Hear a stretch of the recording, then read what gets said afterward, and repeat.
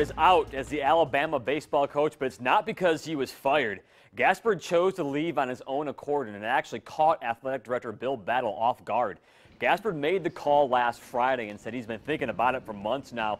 With the language he used, it sounded like he's wanting to spend more time with his family, having a lot to do with it.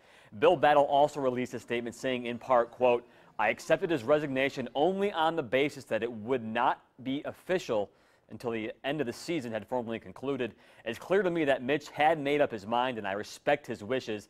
Mitch leaves the program in good shape. As a coach and as a man, Mitch gave his all to our program.